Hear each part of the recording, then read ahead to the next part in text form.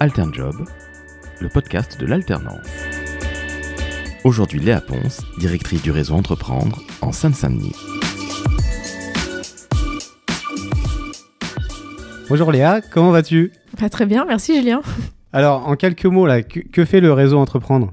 Euh, Réseau Entreprendre 93, c'est une association euh, de solidarité entre entrepreneurs. Euh, et donc, on fédère des chefs d'entreprise expérimentés qui donnent du temps et de l'argent pour aider des créateurs à se lancer. Et on aide les créateurs de différentes manières. D'abord par euh, des prêts, avec euh, des prêts sans intérêt, de 15 000 à 50 000 euros, par du mentorat. euh, grâce à ces chefs d'entreprise bénévoles et par des ateliers collectifs. Je suis la directrice de l'association, donc mon job c'est de représenter l'association auprès de ses membres, de ses bénévoles, de nos bénéficiaires, de nos partenaires financiers, institutionnels et de faire la com, donc de répondre à des podcasts.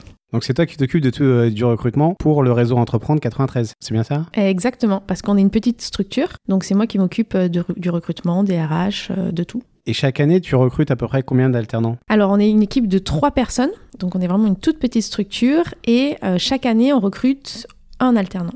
Et le, le, le profil type des personnes que tu peux être amené à recruter, du coup? Ça dépend des années. Euh, on a pu recruter des alternants en communication, en back-office, et là, cette année, on recherche un profil plutôt business developer pour nous aider sur le terrain à aller recruter euh, des membres, des bénévoles et nous faire connaître euh, au maximum euh, auprès du public. Et du coup, là, tu nous parlais du, euh, de savoir-faire. Là, on va parler peut-être un peu plus de savoir-être. Quelles sont voilà, les compétences qu'on peut appeler maintenant les soft skills que, que tu peux être amené à, rechercher par rapport à ce poste? Euh, la première chose, c'est qu'il faut être polyvalent. Comme on est une petite structure, il faut être capable euh, de faire plusieurs choses et surtout de ne pas rester cantonné à une seule tâche, euh, d'être ouvert d'esprit, d'avoir l'esprit d'entreprise euh, et surtout d'avoir une bonne présentation écrite et orale et donc euh, savoir se débrouiller, par exemple, si on va rencontrer des entrepreneurs. Alors Léa, comment peut-on postuler au poste de business developer en alternance chez toi? Euh, il faut juste euh, répondre à l'annonce euh, en sachant que nous, on cherche des alternants à certaines dates assez précises, et donc notamment là en ce moment vu que c'est l'été.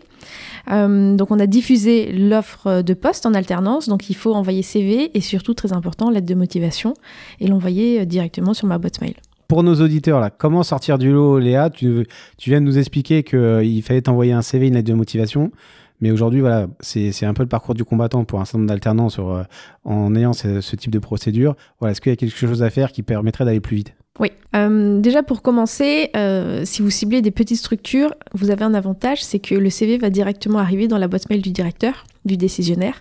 Donc déjà, il n'y a pas plusieurs étapes à passer, vous touchez tout de suite le dirigeant. Et euh, chez Réseau Entreprendre 93, si vous avez envie de vous démarquer, le plus important, c'est de personnaliser son message. Euh, donc de faire des recherches sur notre association et d'envoyer un mail à mon nom en disant bah, chère Madame Ponce, j'ai vu votre annonce, euh, je serais intéressée par le poste, etc. Et donc de vraiment personnaliser le message. Le pire du pire, c'est quand je reçois un email qui me dit cher monsieur, j'ai envie de travailler dans votre entreprise alors que je suis une femme et que on est une association. Ok, super. Donc c'est vraiment la personnalisation qui va faire la différence. Ouais, exactement. Maintenant, euh, fais-nous rêver là. Pourquoi un alternant vient, euh, devrait venir chez toi?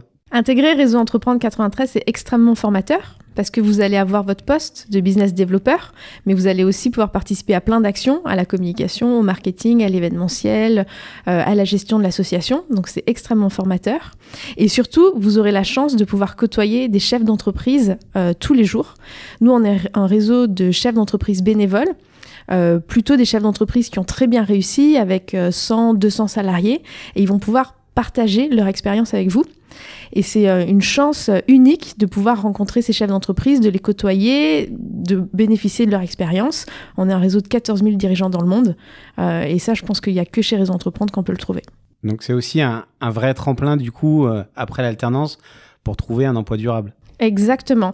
Nous, toutes les personnes qui sont passées euh, chez Réseau Entreprendre 93 euh, ont réussi à obtenir ensuite des postes. Donc, soit elles ont continué euh, leurs études et donc elles ont réussi à intégrer les écoles qu'elles voulaient, soit ils ont trouvé des postes et généralement des très bons postes.